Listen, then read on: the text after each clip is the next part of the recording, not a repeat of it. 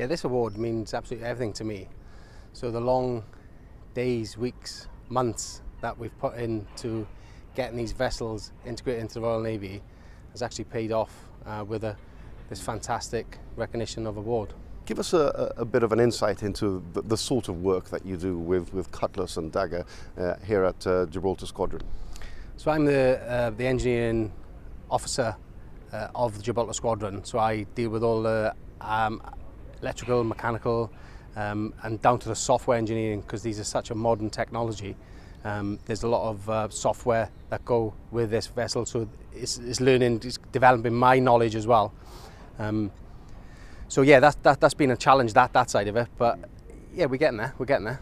Uh, what's what's it been like, sort of uh, working towards integrating these two new vessels into Gibraltar Squadron? Yeah, that's that's been very exciting actually. Um, One of my previous jobs was uh, within the Royal Navy was uh, bringing one of the batch to OPVs, so HMS Trent that's based in Gibraltar. I was part of the um, the team that brought the, the first uh, class HMS Forth out.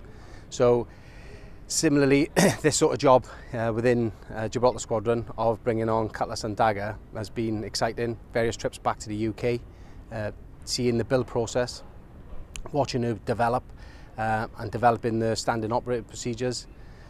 So yeah, it's been very, very exciting actually.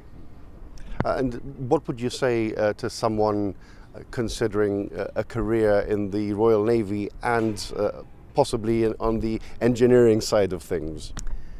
So I think the passion and drive that I still have after 25 years of serving in the Royal Navy um, speaks volumes really. Um, but you know there's endless opportunities for career progression. Um, educationally, uh, you know, I've been uh, educated to a degree level. That's whilst within the Royal Navy and it doesn't come with any uh, university tuition fees. So absolutely, I'd recommend this this as a career to to anyone who's got an interest in, in within the Royal Navy or engineering itself.